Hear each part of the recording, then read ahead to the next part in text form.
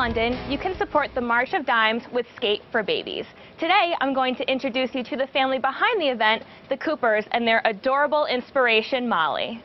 I had like, um, something on my nose, like um, a tube, and then I can drink in the bottles. Our daughter was born premature at 29 weeks in 2008 and was in Yale New Haven Hospital's NICU for two months before she was able to come home.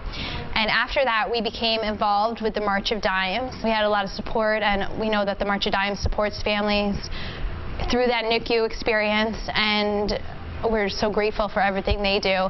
Today, we have, you know, a normal, healthy four and a half year old. And so we started this fundraiser, Skate for Babies.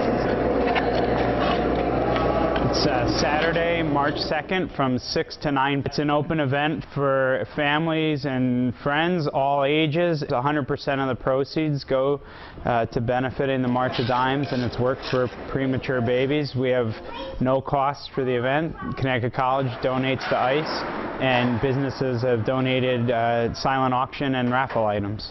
We want to raise a lot of money for the Dimes.